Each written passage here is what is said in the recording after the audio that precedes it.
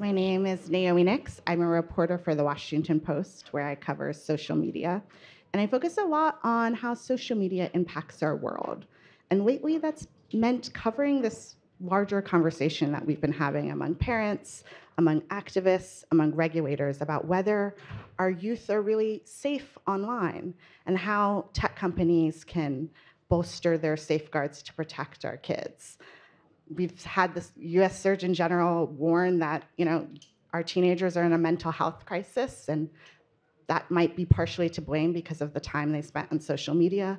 Dozens of state attorneys generals are suing Meta, alleging the company is compromising their mental health.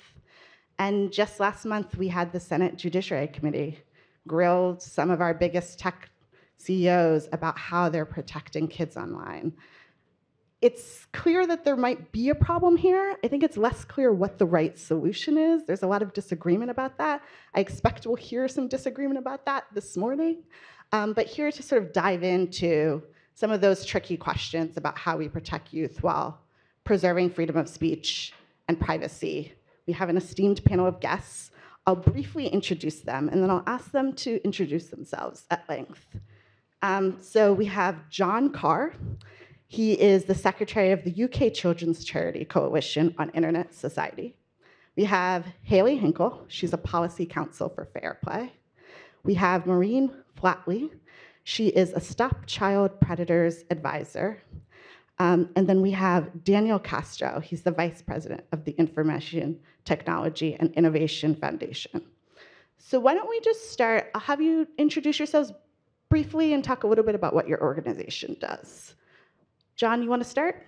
Okay, yeah. So I'm a Brit, as you might have gathered from my uh, accent. Um, and I'm very glad to be here, see many old and familiar faces, particularly my old friend Rick Lane is there.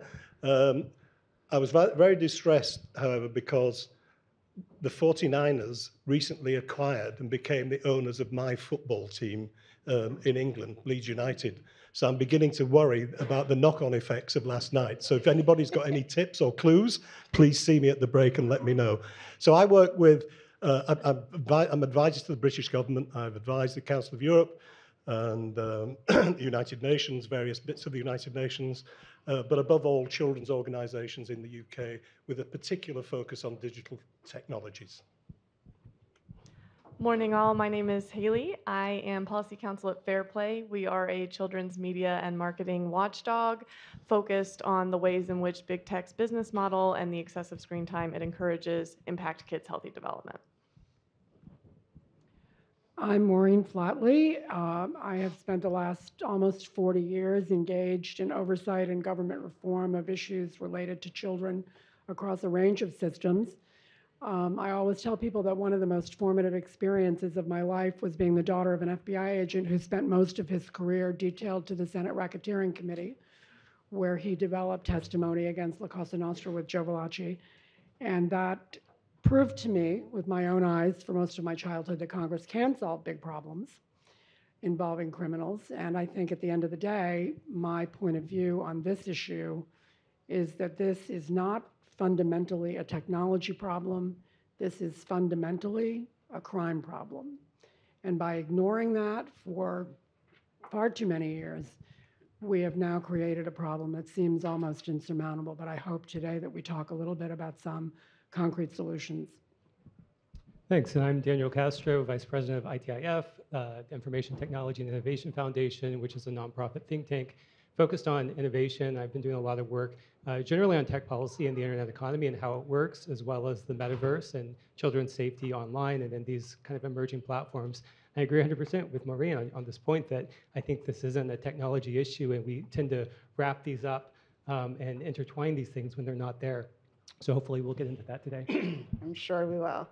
Um, I want to start with the hearing. You know, I've been covering tech for a long time in Washington. And that was probably one of the most emotional hearings I've ever covered, in part because we did have families show up and talk about um, the experiences of young people who had lost their lives to suicide or found drugs on online platforms.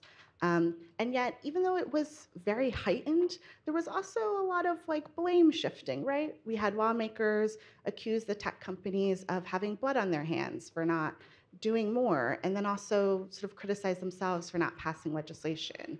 Even in that poignant, um, you know, uh, question answering session with Senator Josh Hawley, you know, Mark Zuckerberg said uh, the company had a lot of parental tools, implying that like parents could play a role in protecting their kids. Amid sort of all of that, uh, all of the various proposals and all of the various diagnoses that happened in that hearing, just to sort of start us off in broad strokes, I'm wondering if each of you can talk a little bit more about what you see as sort of the top risk we're facing right now when it comes to youth safety online, and who and what would be your sort of first biggest step that you think should happen right now?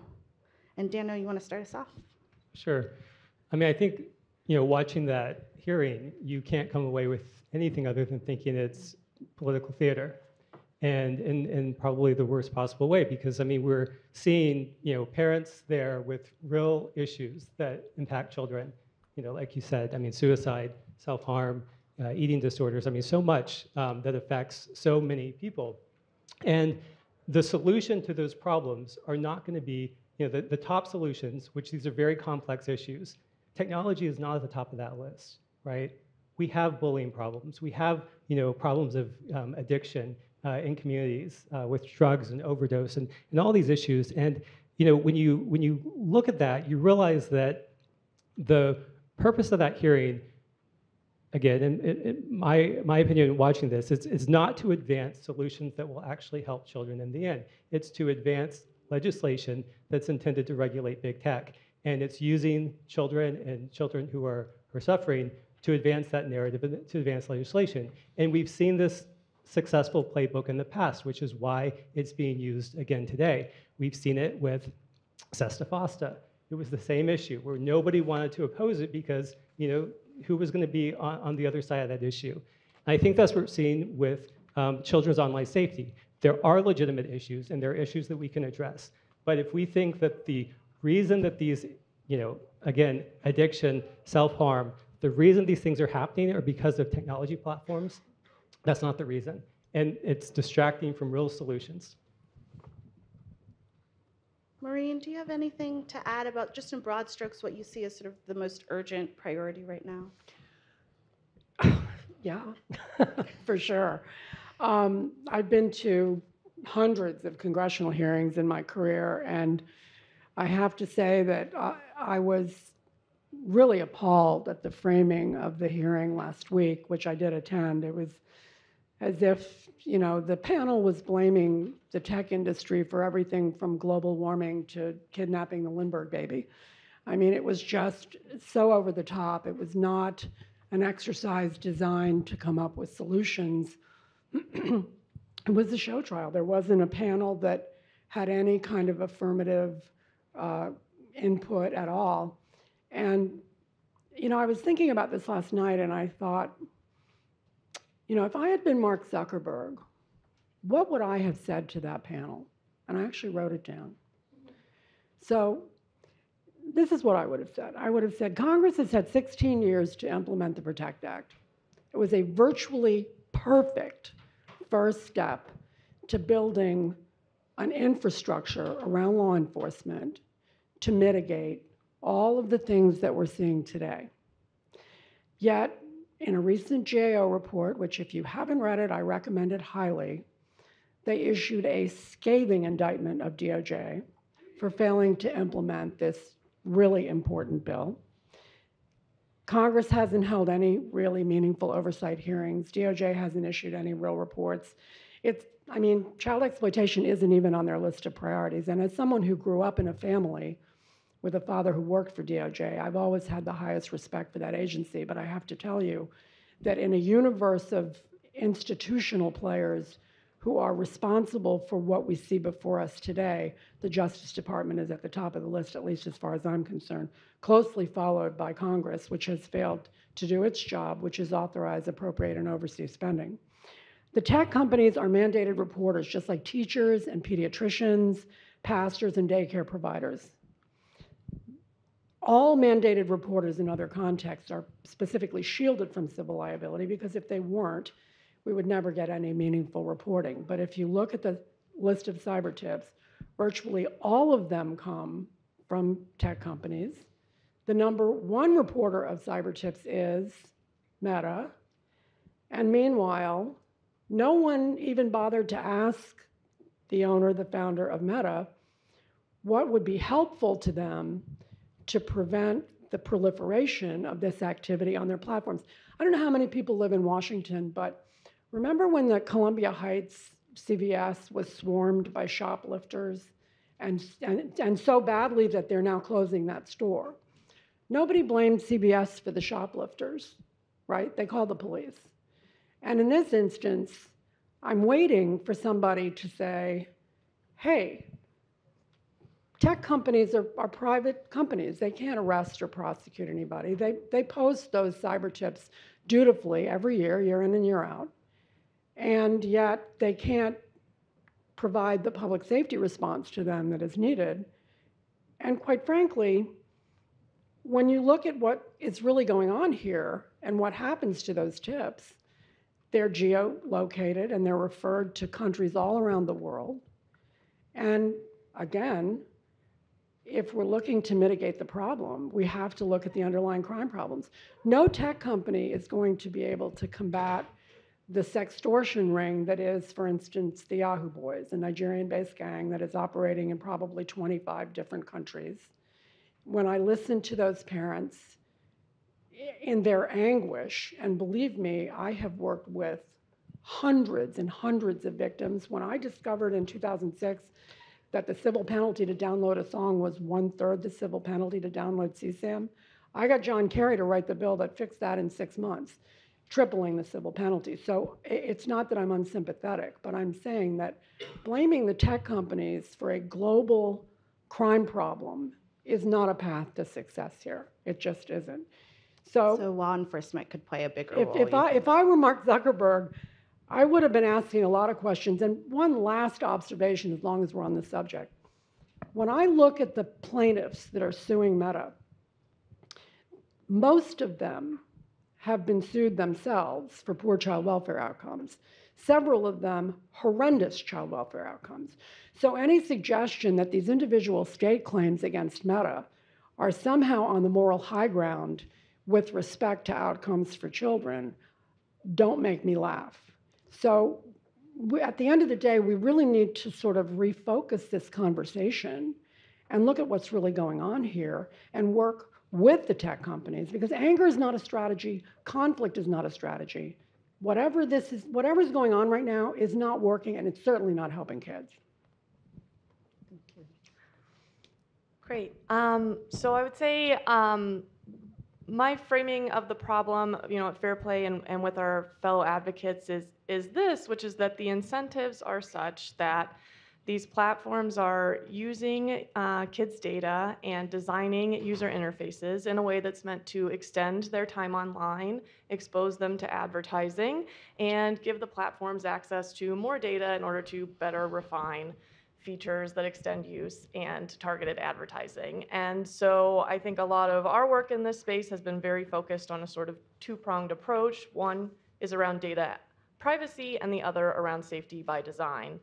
Um, I don't think, you know, I, I, think this year we've started to see um, some push and pull on the debate, sort of um, implying that advocates think that, um, you know, there's sort of a direct, like, um, solving these big tech issues will solve all the problems around teen mental health. I think that that's um, certainly not the case, certainly not a view that's shared by my organization or many of the folks that we advocate alongside. I think that what we are seeing is parents and youth advocates and organizations that are on the front lines of these issues, seeing that families really need um, tools and help.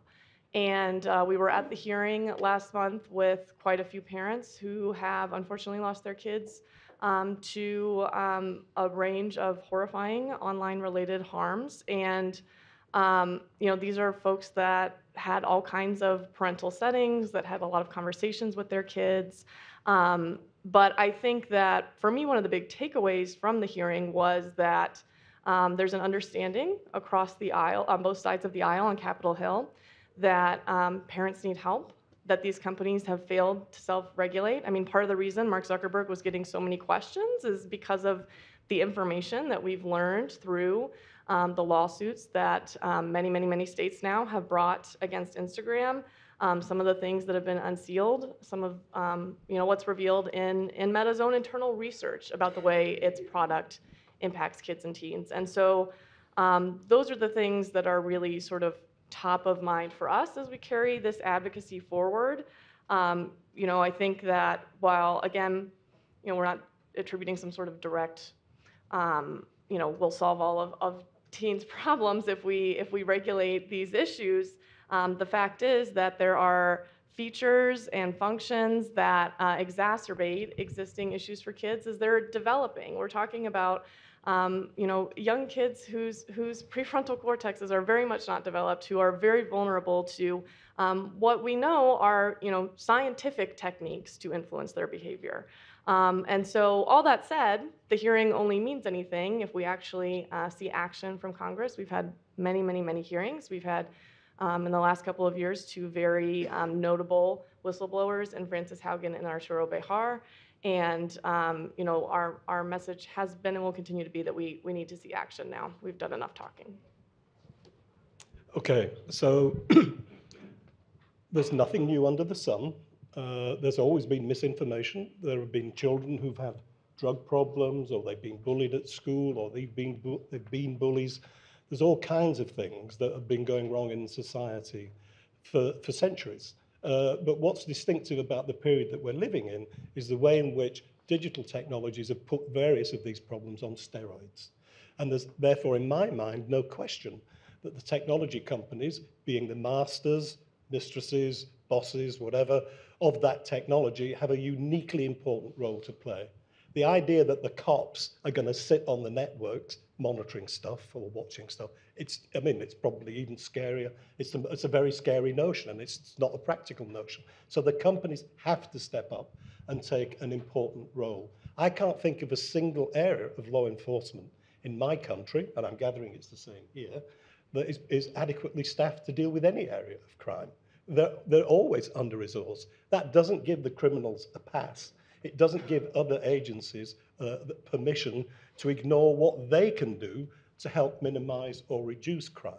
Now, I'm going to, I mean, age verification was something I was specifically asked to comment on because we've got, we've done various things in that field in the UK. And I'll, I'll start with a, a short story. So in, in the UK, uh, your kids go from little school to big school around age 11. So when our kids went, like most parents, we opened up our kids their first bank accounts to help teach them how to manage money. We failed, which is why I'm a poor man. Uh, but nevertheless, routinely, as part of being given their bank accounts, aged 11, they were given debit cards. So around 2003, 2004, we, we began to hear cases reported to children's organisations, not my kids, I hasten to add, of children, typically boys, 14, 15 years of age, being clinically diagnosed as gambling addicts. And just so we're clear about that, what they were doing, they were getting their pocket money or their part-time earnings, putting it into their bank account and blowing it on a horse or a football match or, or whatever it might be. Now, our law is quite clear. You have to be at least 18 years old before you can gamble on anything. Online gambling has been possible, you know, since the year dot, basically in the UK. I know that the situation's been different here in the UK. I went to see all of the gambl- big gambling companies, offices in the city of London, very expensive suits, wonderful boardrooms, all of that stuff. I said, you've got kids being diagnosed as gambling addicts coming onto your site. Uh, and they said, yeah, we take this problem very seriously. They, every, if I had a pound for every time I'd heard a tech executive say we take this problem very seriously, I'd probably be in the Bahamas now. But anyway, they all said the same thing. Uh, privately, uh, publicly, they said we take it very seriously. We were working on solutions. They did nothing. Privately, what they said was, of course, there is friction that we could in, enter into, we could engage on our platforms to try and detect kids or slow them down and things. But if we do it first, any of our, all of our competitors will basically steal our business. So none of the gambling companies did anything until we changed the law. And we changed the law in the 2005 Gambling Act, the relevant parts of which became operative on the 1st September 2007. Under that law, the Gambling Commission will not give you a license to operate a gambling website in the United Kingdom unless you can show that you've got a robust age verification system in place. Since the 1st of September 2007, I'm not aware of a single case, not one, where a child has gone onto a website, ticked to say that they were 18 and then gone and blown their pocket money or, ga- or gambled in any way at all. I'm not saying it hasn't happened. They may have impersonated their parents. They may have borrowed a parent's credit card. That's a different set of issues. But in relation to the gambling companies and the available technology that they had at their command, they had the means of doing that before the law changed. They didn't do it until the law compelled them to. And now we're going to do the same with pornography sites. But I might uh, come on to that later if you, if, you- if you want me to. Well, you know what? Actually, why don't, why don't we just dive into to that topic now? Um, you know, we're in a moment where there's a lot of state bills that are pushing this idea of parental age verification and getting parents having youth get their parents' permission to use social media um, and sort of enhance parental controls. I think, you know, we heard even in the hearing just last month. I think it was the SNAP uh, Evan Snaps Evan Spiegel, who said, you know, just 400,000 of our teenagers have enabled parental supervision. That's like 2% of their platform. Um, my own reporting shows that, like, you know, meta safety experts have for years been concerned about this idea that, like, relying on parents to police their own kids' online activity um, might not be the most effective strategy. And yet, it does seem like one um, you know, that, that lawmakers and even parent advocates um, can embrace despite some of sort of the tricky technological issues. I'm wondering if you can all sort of reflect on, A, like what is the best way to verify kids' ages these days? And can we even rely on parents to police their own kids' activities? Uh, I think uh, our new legislation, the Online Safety Act 2023, which became law in uh, October last year, it's not yet fully implemented because the regulations are being drawn up. They have to go back to the government and then to Parliament before they're operative. So we won't actually see any concrete action until probably towards the end of, uh, of this year.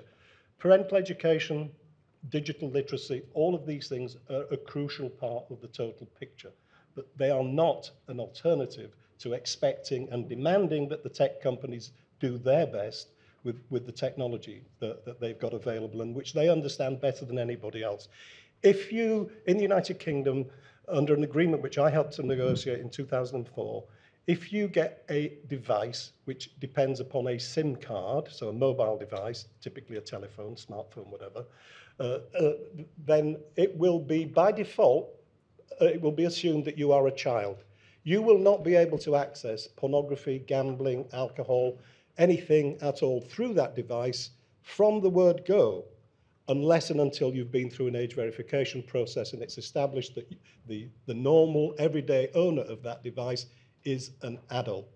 So, and this is typical of what happens in most with most consumer products. You deliver the consumer product in the safest possible way at the point of first use. Of course, if I wanted to kill myself, with an electric fire, I could probably buy a very, very long flex, plug it in at one end, and then run into a swimming pool with the electric fire, you know, clasped to my chest. There are certain ways in which, you know, if you're determined to mess things up, you will mess things up. My point is, at the point of first use, the tech companies should be under an obligation where children are likely to be most engaged with the product or the service to ensure that it's as safe as it possibly can be Parents, of course, can liberalize the settings if they want to, but at the point of first use, it should be in its safest possible condition. Yeah, sure. Okay. Um, I, yeah, I very much agree with a, a lot of what John just said. Um, I think that um, platforms have been very enthusiastic about legislation around parental permission to access. Um, the parents we talk to are very clear that that doesn't really solve many of the problems because the choice a parent faces then is do I socially isolate my kid and deny that permission, or do I say okay and then they have access to a platform that just has all the same problems because all we've done is passed a permission to access regulation. Um, and uh, also very much will just agree with the sentiment that you know the strongest default settings and protections need to be in place um, you know when a, a child accesses the platform and Um, and I think that that's you know an important piece of this conversation as we think about what these state parental permission bills mean. Yeah, if I can add on, I mean, I think you know the the problem we have with age verification in the United States is, I mean, basically right now we're in a world where we assume everyone's an adult unless they affirmatively say they're a child, and a lot of the proposals on the table are to assume everyone's a child unless you you prove that you're an adult, and for many adults, you know, there are privacy concerns with that, and for many children, there are privacy concerns with that, and I think it is. Um, you know, when we're talking about, for example, some of these state laws like Utah, right? This is a state that, you know, they they've said that, you know, they think some of these apps are so unsafe they can't be on government devices, yet they want to have a law that says, you know, every parent has to now upload a copy of their ID and give it give a copy of their personal ID to these same apps. There's a, a serious, you know, conflict there, and I, I think, you know, we need to have alternative options. And so, for example, one of the options that um, ITIF has come out with, and, and, we're looking for others like this, are ways that you know empower parents with something like a, a trusted um, you know child flag that you can attach to a device, so you can put it in a child mode, um, and then once you give it to them, you know every every app, every um, site you visit after that would have to respect that child flag if it's an adult-oriented site something like that gets around having to verify IDs, having to verify age. It's no longer about you know this kind of uh, legalistic, you know, are you 18 or are you 16 or whatever threshold we want to put. Which you know the problem with that is you know one, it's kind of substituting government uh, oversight for parental oversight, and you know two, not all children are the same, right? Some 16-year-olds probably can't handle certain things that 18-year-olds can, and, and vice versa. And there's such a wide range. And so, you know, creating something like a trusted child flag is basically saying, can we take the ecosystem we already have of some of these controls that you mentioned that aren't being well used, and think about how can we actually make them so that they are well used? Well, one of the problems, one of the reasons parents don't use these, um, you know, child safety features right now is because there's so many of them. You have to go and you have to figure out the one for this social network and then another social network and then this device and another device. There's no interoperability between any of that. So our point is, why don't we work on actually making this all work together? so that you can give one child one device. You can set screen time that you know applies across a Chromebook and an iPad um, and their Windows device. Uh, you know you can you can do much more with that than trying to say, okay, you know we're going to ban certain types of features on certain types of social media sites or require you know everyone to display their ID. We know people don't want to do that, and there's huge resistance, and it's because you know people rightly are concerned with their privacy. Wow, my head's going to explode. Um, you know, I agree, John, that we should be providing the, the safest possible environment for kids. I've spent my whole life working toward that goal. But I think that when we talk about the public safety aspects of this problem, which we do not talk about nearly enough, we're overlooking the fact that we're not talking about having, like, I live in a town of 3,000 people, 30 miles north of Boston. We have a wonderful little police department. We're not talking about having policemen sit on the systems, right? We're talking about breaking up global criminal enterprises that are not just terrorizing kids, they're terrorizing the companies too. And so at some point, we skipped this part of the conversation. You know, there was, so I was reading the other night that there was this, uh, the, this is from one of the uh, pro parent groups. The US has traditionally put the onus on parents to supervise their children's online experience. However, this doesn't get to the root of the problem of how companies design platforms to maximize engagement. Okay, we skipped a huge element there, which is that as crime moved from the real world into cyberspace, we have a forget a legal obligation. We have a moral obligation to tackle that. And we're not doing it. Why, why are we even bothering to collect the cyber tips if something like 3,000 out of every 100,000 cyber tips are even examined? I mean, the, the notion that we are doing enough to protect kids in this conversation is preposterous. And quite frankly, by shifting the blame directly to the tech companies, we're missing a huge opportunity to protect kids. We talk about data privacy. I see my good friend, the Newman to my Seinfeld, Rick Lane is here, and Rick and I banter about encryption all the time. So I've spent a lot of time working on identity theft in children. It's a huge problem. If you think the problems of exploitation online are a problem, come look at those numbers. And so I've had a lot of concerns about weakening encryption. I mean, if my dad was an FBI agent, sure, we want to help law enforcement, but I mean, what's next? We just strip away the Miranda warnings? We've got to find a better way to do this. And encryption is the backbone of protecting not just kids, but every single consumer. We talk about children and data privacy. Hello, it's a nightmare. Um, you know, let's talk again about some of the meta plaintiffs because I've been looking at these states for 40 years. I started my work in California where they were routinely issuing multiple social security numbers to kids so they could make multiple Title IV claims to the feds for their kids in foster care. If you're a child in foster care, we're talking about Meta monetizing kids' data without parental consent. If you're a child that enters the foster care system in any state but Maryland, and you have Social Security benefits, the state is taking them from you without anybody's permission, and you're leaving the foster care system destitute. So I guess I'm finding this whole conversation a little troubling because I see a huge disconnect between the lack of outrage about those practices that are going on in the real world and by a lot of the people who are now directing attention to the tech companies because it directs attention away from them. And I think that there's a lack of consistency. I mean, we could talk about Utah all day, okay? These state rules that are being put forth, uh, let's just use my favorite example, my least favorite Democrat, Gavin Newsom. Okay, so Can Gavin we wait on Gavin Newsom for one second? So- do you mind? Hmm? Do- Can we wait on Gavin Newsom for sure, one but we're second? going to 'Cause I get do to wanna make Gavin sure- Newsom. Could I, could- I can I could- just make a, there is a project which I'm chairman of, which is trying to develop an international framework for doing age verification. So the problem that you were mentioning about having to jump between different platforms, different mm-hmm. methods for doing it, should be solved. It was originally funded by the European Union. It's now funded by the UN. I'm the chairman of its advisory board. So we recognize the point, the problem that you've raised, and it should become smoother and easier to, Meta is part of the, the experiment that we're involved in, and other tech companies are as well. Could I just add, though, you know, I, I think it's important that, uh, you know, no one's really objecting to, um, you know, gambling sites and, and keeping children off that. I mean, the, the questions come up when we're talking about sites and menu services that have, you know, a, a broad range of users that are, you know, uh, I, I think about, you know, if you look at how children, you know, the children are most likely to be uh, have amputations because of lawnmowers, right?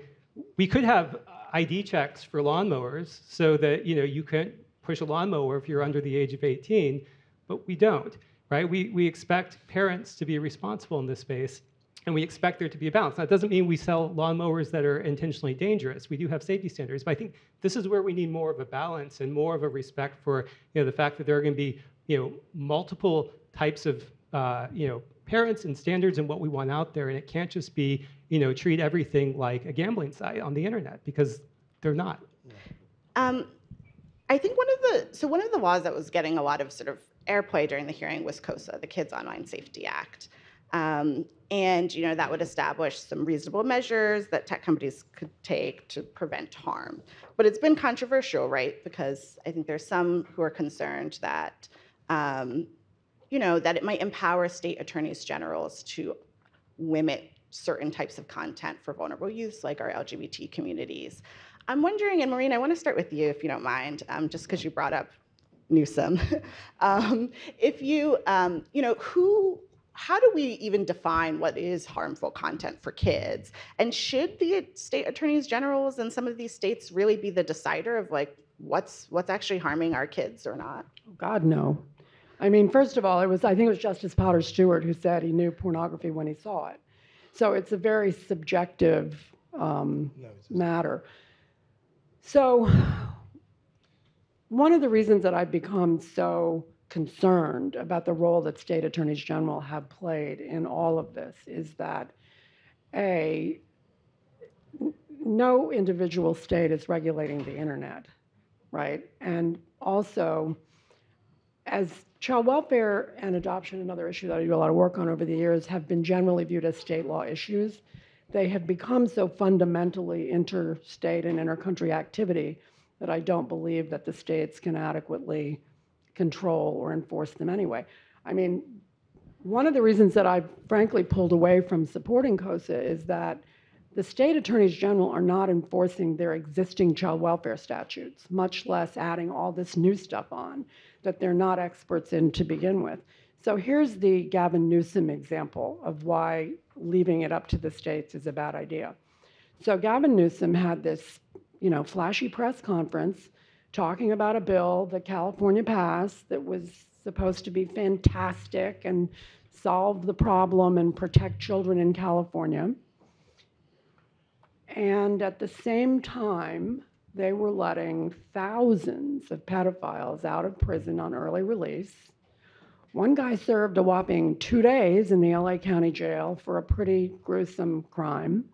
Now, this is a crime that has arguably the highest recidivism rate of any category of criminal activity. And taking, first of all, that it was a miracle that any of these guys were convicted because one of my concerns is that the conviction rates as against the cyber tip numbers are negligible. So, really, Gavin, I'm not really that interested in having you or Mr. Bonta do anything that has to do with protecting children because there's a fundamental hypocrisy to that kind of disconnected thinking. And as far as the states are concerned, what we're talking about is dramatically interstate activity most of the time. There is no way that they can really wrap their arms around it. So these state laws have just become this performative exercise. So I'm really not, at this moment, I'm not going to support any bill, A, that doesn't focus on the criminal justice aspects of the problem, and B, that leaves anything up to the state attorneys general, because I just don't think that they've done a good job with kids, not just on this, but on anything. Others have a viewpoint? I might add um, to this conversation. I think that um, there's been a lot of important discussion around the Kids Online Safety Act and the duty of care over the past almost two years now. You know, I think the bill in its current iteration is is pretty clear that it's not meant to impact the existence of any single piece of content. It um, says very clearly in, in um, a rule of construction in the duty of care that um, this isn't about um, a child searching. Um, I think that there's an important distinction to be made between holding platforms responsible for the mere existence of content, which is protected under Section 230 of the Communications Decency Act, and the decisions they make about what they are actually promoting into our feeds um, because they are um, you know, training algorithms and, and, and targeting metrics. And um, we know that um, more outrageous content gets more eyeballs and, and therefore ends up pushed onto feeds. And so, you know, I think that's an important piece of this conversation as we continue to talk about, you know, how we can conceptualize um, conceptualize KOSA. Um, I also think that the text um, in its current iteration is, is clear that it runs to the design and operation of the platforms. Um, and um, that's really what we're trying to get at is that features and functions are just simply not the same as just the mere existence of content. Uh, can I just make a, a, a quick uh, comeback on that point about sub, the state substituting parents' rights? Absolutely not how we see it in Europe. Uh, what we see, and I might remind you, the United States of America is the only country in the world that's not signed the United Nations. Oh, I have a lot to say about that, John. But- and, and they're but- never going to. So it's No, kind I of know a false I know analogy. that's not immense, immensely relevant right now. The point is, we accept that the state has an obligation to help parents, particularly in complex areas like this. What is it? Uh, Apple figures less than one percent of Apple users actually use any of the safety tools that they've they've put on there. It's quite clear that there is a disconnect between what we expect and hope and would like parents to do and what's actually happening. And what we're saying in, with our legislation in the United Kingdom is that's over. We're not going to take fine words from uh, tech executives about their hopes and aspirations. We're not going to let them mark their own homework anymore. This is a key piece of our new legislation. There will be legal obligations on tech companies to report in detail the risk assessments that they're taking in relation to how child users of their service are actually faring uh, in terms of that service and the steps that they're taking to make sure that those problems are minimized or disappear. And if they tell lies, and by the way, they have done in the past, somebody will go to jail because another unique feature of our legislation is there are criminal sanctions being attached to the reporting obligations under our legislation.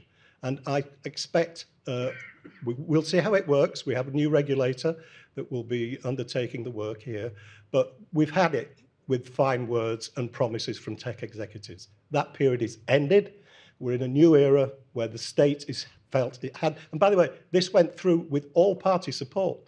Nobody voted against this legislation when it went through the British Parliament. That is extremely rare, extremely unusual, but it happened. So, so can I, John, I, you know, I emailed you about this over the weekend. You know, the tech companies are not shielded from federal criminal prosecution right now. And quite frankly, one of the reasons that I am so keen on law enforcement is that they shouldn't be marking their own homework. If there are companies out there that are conspiring with groups like the Yahoo Boys, for instance, let's put them in jail. There is absolutely no scenario in which existing US law does not provide exactly the sanctions that you're seeking. Suicide prevention? Well, John, here's the thing. You can you can talk about that stuff all you want. And I agree mm-hmm. that we want to have safe platforms. But there you have skipped over the entire discussion of public safety. And so if you're dealing with I, I'm working with a victim of sex extortion right now. She's a lovely young woman. It's amazing how she's come back from a horrible experience. But really, do you think that any platform can push back on an international global ring of sextortionists without some help? You think that all of these issues that we're talking about cannot be bolstered, in fact, strengthened by having a public safety response to? Okay. They're not alternatives. And then, it, and then I just have to address this U.S. versus the world thing. The U.S. framework of child welfare law is very different from international standards. I've worked all over the world. Okay, the U.S. is never going to ratify the UN Convention on the Rights of the Child for better or worse because our framework around children is more like property law than human rights law. Okay, that just is what it is. Okay, but I'll, at the same time, I've looked at, in detail at the global law enforcement response to this problem, and guess what? Nobody's doing a good job, right? Why? Because there isn't enough investment in public safety, there isn't enough investment in collaboration, there isn't enough focus on the criminal activity that is fueling the victimization of kids. I've, I've got eight children, okay? Two daughters and six stepchildren, who I, all, of whom I raised, 17 grandchildren. Those kids range in age from 56 to 6. So I've seen every possible application in my own family of the evolution of technology. And, I, and would that it were so simple that a company could just ra- wave a magic wand and create a safe space. But if we're not creating a safe space for the company to do business in, they're certainly not going to be able to create a safe space for kids. And I'm not here to defend the tech companies, but I am here to tell you that I've been doing this for a long time. And I can tell you that if you ignore the criminal activity that is fueling the suicide rates, and by the way, this whole discussion of mental health has a lot to do with a lot of things and not technology. And by the way, I haven't heard anybody talk about the positive things that technology does for kids right mm. this minute. I do want to get there, actually. Well, okay, well, let's do get there because it's a, it's a, it's an important part of the conversation. yeah, yeah I agree. If I can just, I want to put a fine point on, on why KOSA is a problem at the state level. And I mean, the problem is if you look around the past year, we've had these heated debates in many states around book bans and other types of content where, you know, we are seeing state legislators substituting their view about what, and it, we see this at, uh, you know, at the lower level of school boards as well, substituting their view about what content is appropriate and what content is not. And even though the legislation says they're not, you know, trying to focus on any specific content, I mean, just think of this last hearing that we saw, and think about what that hearing would look like if a law like KOSA was on the books. Every CEO would be, you know, they'd have a parade of content from third-party content and saying, "Why did you think this was appropriate for children? Did you not have a duty of care to take this down?" And we would just see more of the same political theater where it will be about the content. And it will be very subjective about what content is allowable and what content is not. And to the point about, you know, are we actually helping children at the end of this? I mean, one of the concerns I have with a lot of these bills is it's basically taking more and more of the internet away from children. And the idea is, of course, you know, they're saying, well, we're doing this in ways to protect children. We're also taking a lot of the value away from children. And increasingly, what's left for children on the internet isn't very useful unless you have money to pay for, um, you know, paid software, paid apps, paid services. So, you know, if you want the future of the internet to benefit children of all backgrounds, those who can afford things and those who can't, we need an ad-supported internet that actually delivers value. Now we want to make sure we're not delivering them harmful ads, but it will be ad-supported, just like much of you know other public content that we have on broadcast TV was ad-supported content.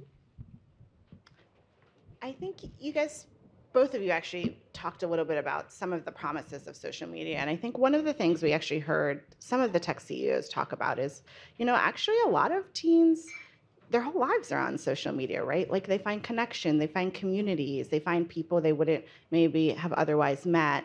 Um, most people who use social media don't face the tragic stories that we heard about during the hearing. Um, and I think there is starting to be an argument about, you know, is there a sense in which some of this is a bit of a moral panic? Like, are we just sort of fretting about social media in the same way that we might be once fretted about video games or other sorts of television and other sorts of technology? And I'm wondering if you all, um, you know, can reflect on that idea and what you might tell regular parents about how concerned we actually should be um, about some of the risks we've discussed here today. I'll start briefly. I, I, think the comparison with video games is very appropriate. I mean, if I think back, you know, to Columbine, right? And right after Columbine, people were looking for something to blame and, and what they could do. And the answer then was video games. Video games was seen as the problem, and video games, you know, we've seen clearly, you know, regulating that would not have addressed all the school shootings we've seen since then. There were other problems there. I think the same thing is going on with social media, where you know part of the frustration I think a lot of parents have, myself included, with this debate is it takes attention away from the real issues. You know, if we're talking about real issues that are going to help children, more law enforcement, better safety nets for children, more counseling. I mean, there's so much more that we can be doing to help children address children's need. And it's not about, you know, whether we're having autoplay on videos on social media. Those aren't the big issues. Uh, you know, I, I think, uh, you know, I think about how, you know, kids used to go to school on horseback and now they ride school buses that might crash, you know. There's a, there's always a generational thing that goes on here, but, you know, at the moment, the Ukrainian government is looking for tens of, tens of thousands of children that were abducted by the Russians. And how are they doing that? They're using AI and they're using AI to scrape the images that the Russians are putting out of the kids, and they're matching them with the images they got from the parents that reported them missing, and they're geotagging their pictures, and guess what? We know where 23,000 of those kids are probably. We look at the way that over a million kids have been adopted from foster care in the last 20 years that probably would have had a really hard time finding families if it weren't for the internet. We look at all of the educational applications of kids during COVID. I mean, good Lord, kids would have been dead in the water without having some technology access to education, to mental health services. And from where I sit, looking at a massively underserved population of kids of all kinds, we look at technology as the as the new frontier in terms of de, of delivering adequate mental health services in particular to all kinds of children for all kinds of reasons. But when you talk about a moral panic, Naomi, I think there's a there's another aspect of this that you know really hasn't been discussed, and that is opportunism. And so when people started to figure out that they might be able to sue the tech companies who have some pretty deep pockets, that seemed like a pretty attractive alternative. Now, again, I look at that and go, okay, they're mandated reporters. So if you're going to start to sue them, you need to start suing your pastor, your school teacher, your school nurse, all the other mandated reporters. And in the meantime, by the way, because they're not mandated reporters, let's go after the gun manufacturers because they're shielded from liability and they kill a lot more kids than Facebook does. So I think that there has been this sort of um, sort of a masterful manipulation of the message that has departed sharply from what you know I would consider and a lot of other people would consider to be best practices in child welfare. Mandated reporting has been around since 1974 and thank God it is because it saved a lot of kids' lives. As far as the issues of suicide and other side effects of being victimized by criminals, well, I say, let's just give it a shot. Let's see what happens if we go after the organized criminal enterprise on the internet. Because you know what I think will happen? It'll be safer. And it'll be safe for everybody. Just some thoughts. Other thoughts? My issue with the moral panic framing is that these harms have been realized. They're not imaginary. We have a lot of youth advocates and a lot of families saying they need help. Um, I think there are many wonderful things for kids and teens online, and you know, our- our driving sort of um, motivation behind this advocacy is that they should be able to learn and play and socialize you know, free from some of these incentives that currently exist because of a lack of regulation. Kids are not going onto a social media feed and just seeing what their friends have posted.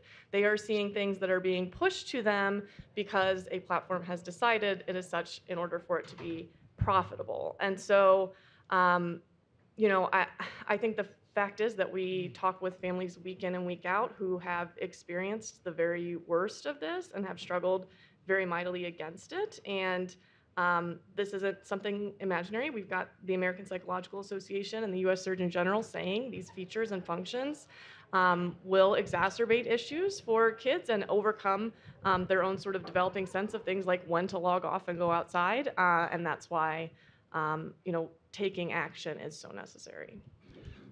Of course, the internet's been hugely beneficial for the vast majority of children and society as a whole. I mean, we're not here to celebrate.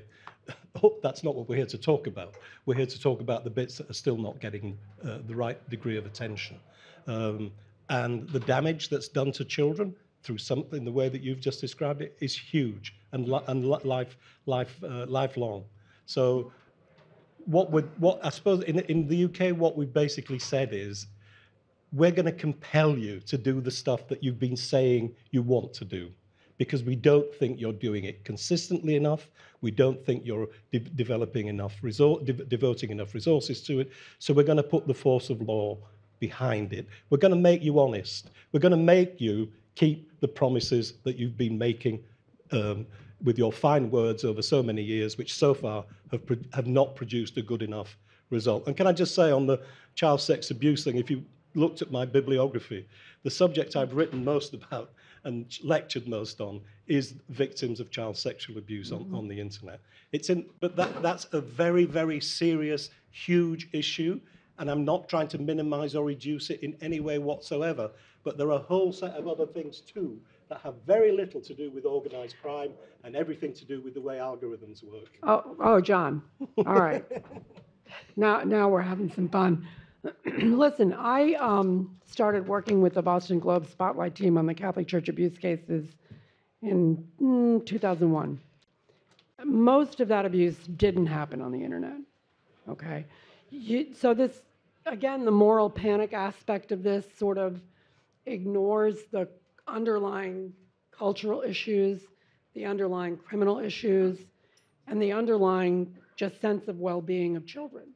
And you know, at some point, and God knows as a mother, I feel this keenly, we have to also make a decision of where do we as parents draw the line? Where do we as parents take control of our children's lives? I can tell you right now, because I have spent over almost 40 years looking at it, the government makes a terrible parent. And there are right this minute 500,000 kids in foster care here to tell you that that is true.